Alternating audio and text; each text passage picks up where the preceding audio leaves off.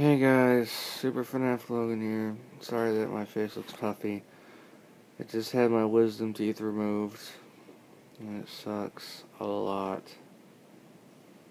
So I want to say, it'll be a while until I get fully better. Probably maybe almost a week. It's like maybe either four or five days, I don't know.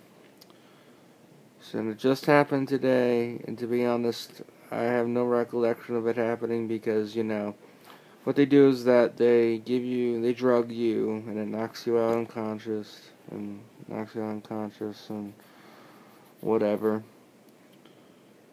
And the last thing I remember was everything was dark, and then when I woke up, I was in the car.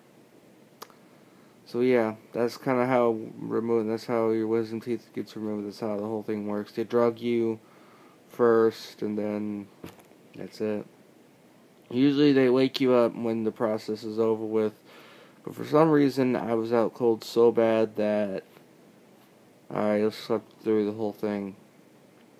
It's just like my parents carried me to the car. So I want to say I'm doing okay right now. My jaw, my entire, and almost around my mouth, it hurts really bad.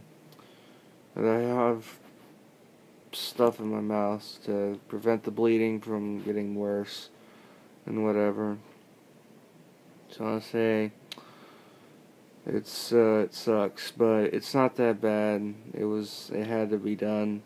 Just want to say the videos will hopefully come. I'm gonna upload a, a random stop motion tomorrow, and I hope you'll like it.